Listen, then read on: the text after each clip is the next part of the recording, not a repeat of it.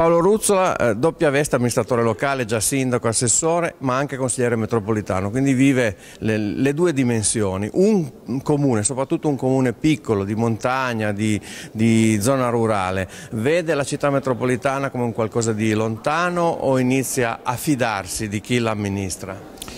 No, assolutamente non lo vede come un ente distante, ma al contrario lo vede come un ente indispensabile con cui interloquire per avere rapporto con le istituzioni superiori, quali eh, la regione o i, i vari ministeri. Eh, I piccoli comuni, i comuni come, detto, come, avete detto voi, eh, di periferia, montani, rurali, hanno l'estrema necessità di avere questo ente eh, intermedio che li possa rappresentare. I grandi grandi comuni hanno una forza autonoma per far sentire la propria voce e le proprie istanze nei confronti degli organismi superiori, ma i piccoli hanno sicuramente bisogno, hanno la necessità di avere un'interlocuzione con quella che era la provincia e oggi la città metropolitana, anzi eh, ne chiedono anche un rafforzamento, abbiamo bisogno di misure eh, specifiche anche nell'ambito ad esempio degli appalti, la centrale unica di committenza eh, fosse in capo alla città metropolitana sarebbe sicuramente